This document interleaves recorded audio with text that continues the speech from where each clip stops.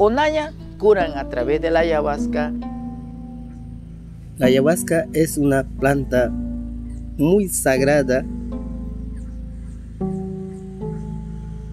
Tenemos variedades de, ayahuasca.